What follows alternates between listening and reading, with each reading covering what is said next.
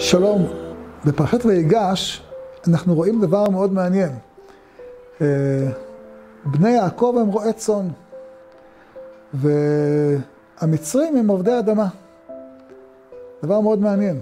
ובאמת, אם נשים לב, כל האבות היו רועי צאן, חוץ מיצחק שהיה עובד אדמה. אבל יצחק שהיה עובד אדמה בכלל לא ירד למצרים. מה, מה מסתתר פה? ובאמת זה קשור לקין והבל. כולנו זוכרים, קין והבל, שקין היה עובד אדמה, והבל היה רועה צאן. ושניהם מבטאים חלקים שונים של אדם הראשון. כדי שיהיה תיקון שלם, אדם צריך את שני החלקים. לכן, בני ישראל יורדים למצרים להוציא משם את הכוח של קין שהיה בידי המצרים. ובאמת כשמגיעים לארץ ישראל, מתקיים בהם כי תבואו לארץ ונטעתם.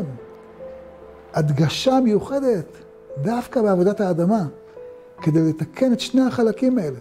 לעומת זאת, אם תשימו לב, למרות שאצל המצרים, תועבת מצרים כל רועה צאן, בא פרעה ומנסה לשבות את הכוח הזה מידי עם ישראל. הוא אומר ליוסף, אם באחים שלך יש מישהו שהוא רועה צאן, ושמתם שרי מקנה אשר לי, הרי אתם מתעבים רועי צאן. לא, פרעה רוצה לשאוב את הכוח של עם ישראל, ובסוף, וינצלו את מצרים. חכמינו אמרו, מה זה וינצלו את מצרים? עשאוה כמצודה שאין בה דגן. זה אחד הפירושים. זאת אומרת, רוקנו את כל כוח הצמיחה של מצרים, ושאבו אותו לעם ישראל. ואז יש לעם ישראל שני הכוחות האלה, ואז הם יכולים להתעלות למדרגת אדם הראשון. מעניין.